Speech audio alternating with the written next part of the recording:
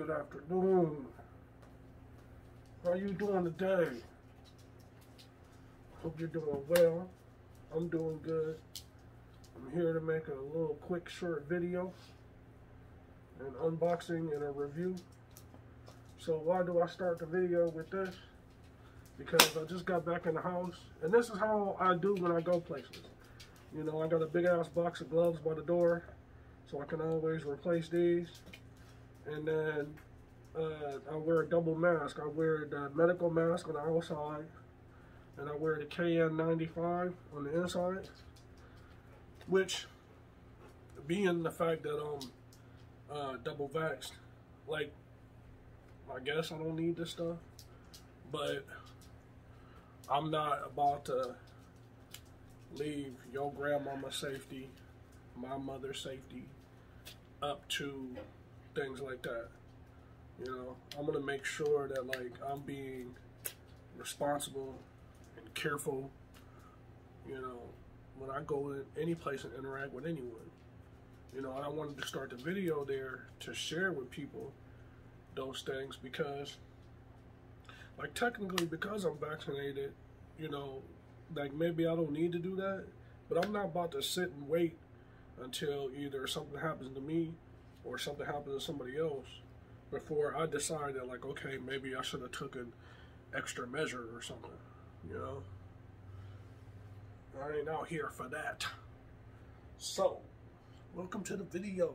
I'm TJ you know? Um so what I got today is I did the unthinkable you know? I went you know to my local vape shop you know and I've been there plenty of times. Uh, but the unthinkable is the, the vape shop prices are never better than what you can find spending a decent amount of time online trying to find stuff. You know, whether it's the e-juice, you know, the e-juice that I got to unbox today, you know, I can find it for cheaper places online. But I was pressed for time, so that's why I went to a local shop. You know, but the unthinkable though is I grabbed some CBD at the vape shop while I was there. Which you better off going online and it's a notorious meme slash joke to not do that shit. you know, unless the company that you mess with online is the that you know that they hook up your vape to your local vape shop or something, you know. So um so today I will do the unboxing and the try of the juice on my vaporizer and then I'll uh, unbox the CBD and show you what it looks like. So before I get started, I never do this, I always forget. The um, parental advisory face. Any of the CBD that I show in this video is legit in all 50 states due to the Farm Bill in 2018 you know, it is not marijuana despite what you what your stereotypical brain might be thinking. And I hope that's not you watching this video. If you go and tune into it and that's what you're thinking, hopefully you'll get educated and you won't be in that position. Um, the juice today is Sugar Drizzle by Cuttwood. It's a California e-juice place. And um, the reason why I chose to do Cuttwood is because it has, it has a sentimental value kind of thing place in my heart because back when I quit smoking cigarettes years ago uh, and I started grabbing vape juice, um, initially all I would ever grab was different house blends from different vape shops. Like I wasn't even hip to like um, some of the differences between house blends and you know some other companies. Now there are places that know their stuff where that if they have enough experience, you know, the house blend can be on par with some name brands that you pay a lot more for. But there's also places that do house blends that like you're like, man, the first time you fill up your tank, like why the hell am I doing this? You know, like I should have just bought X, Y, or Z juice that I'm used to.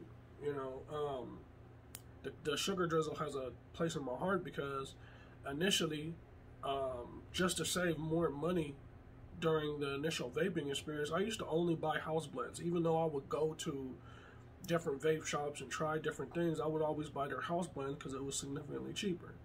And Cuttwood feels good to me because that was the it was the first branded, you know, company brand that I bought.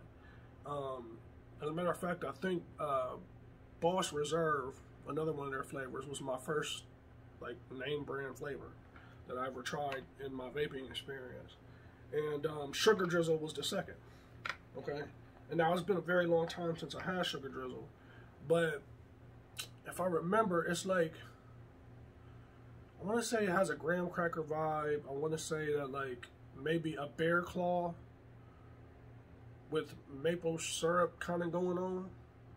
Like I do remember the syrupy kind of taste, the cinnamon, and having it being really, you know, uh, layered. It wasn't nothing overpowered. Okay, so but this is the this is the good good the good, the bad, and the ugly about going. Excuse me, I didn't mean to start. The good, the bad, and the ugly about going to a vape shop. You know, this is a 60 ml bottle and a six of a sugar drizzle by Cuttwood, and this was like 20. You know, when damn near any e-juice you could find online, you could get 100 mils for like 12 bucks, 13 bucks or something, from a lot of different sites. And you know, like I know I can get Cuttwood for cheaper than that, but I was pressed. Like I was about to run out of juice. I was about to run out of CBD, so I had to do like an emergency Super Dave shit. You know, sorry if you're not old enough and you don't know who Super Dave is. But look. Alright, so I got it on my uh, my Vaporesso in the Zeus tank at 65. It's been uh, sitting for a while, so it should be ready to go. I'm going to do a few of my customary procedures here.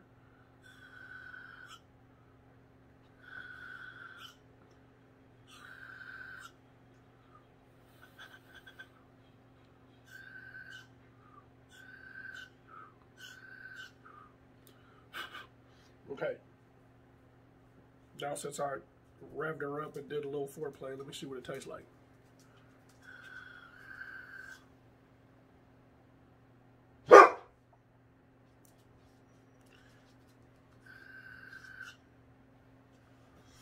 I can't believe sometimes when I look on e-juice sites and see this flavor getting any anything bad to say about it. It is so lovely. Like if you like dessert flavors,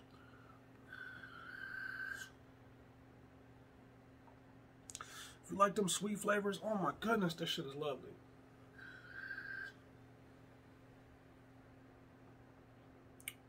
Like brown sugar, cinnamon, and like there are e-juice flavors that have cinnamon that taste like the red hot candy. That's not what I'm talking about. I'm talking about like cinnamon on your waffles or your pancakes, which is things that I like cinnamon on.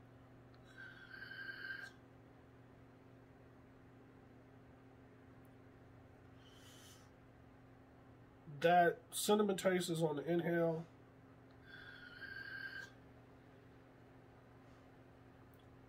How's like that bakery treat on the exhale, but it's really, really smooth. Like no bad parts about it.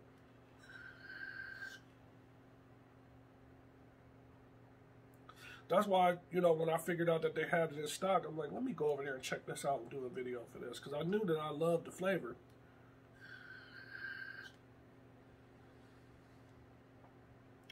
And it's great nostalgia for me because, like, back in the day when I first got the uh, Boss Reserve, I was like, oh shit. Like, I might never buy another House Blend again. okay, so now with the uh the scary movie part is getting CBD from a vape shop. And what's ridiculous is that this is probably outdoor and it costs 30. Like really crazy? Like I can get good pain relief online for that price. But it the thing that gave me a little bit of comfort is that um, the company. You know, I like the company. Um, previously, I've only bought their e-juices though. Um, the company is called Koi, and the flavor is Legendary OG.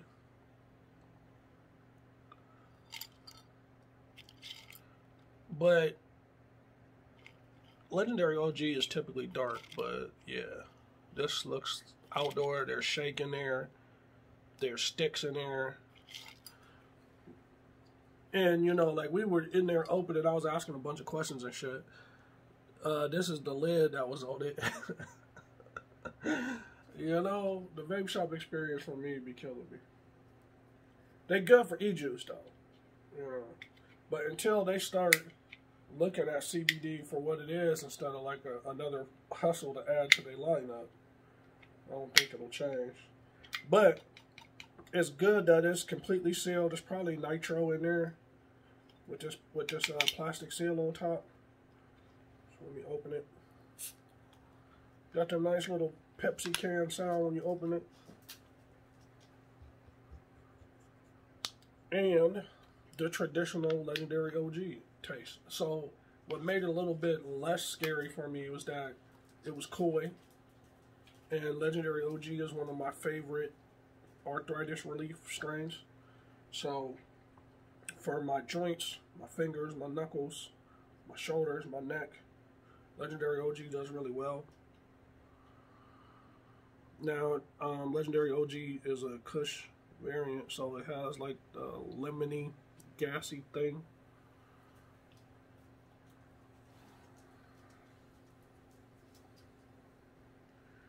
But like again, like it's yeah, it's dark. It's all smalls. There's some good stick coverage in here. There's a little bit of loose leaf in there.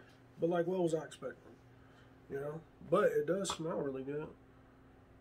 The moisture content is there. It doesn't look, you know, ridiculously bad, but it's not like some WNC or something either. But I'm looking forward to trying it just because I knew that, like, I was down to the buzzer on my CBD stuff. So I needed to do something unless I wanted to be in pain all day. And I will try it later. I'll probably mention in one of my videos what I thought of it and stuff like that. But the CBD mainly for me on this channel is to give, excuse me, is to give people different options. You know, to find different things, some things that they may not be used to. You know, it's not for me to tell you, you know, what CBD is good for you and what CBD ain't. So that's why I don't be on here saying, oh, I, you know, to a certain extent on what to get or what not to get. Like, for instance, what I may do with e-juice. So, I hope that you've enjoyed the video. You know, um, come back and check me out. Whether it's some of my spoken word or my video game streams you know, come back and check some of that stuff out. Um,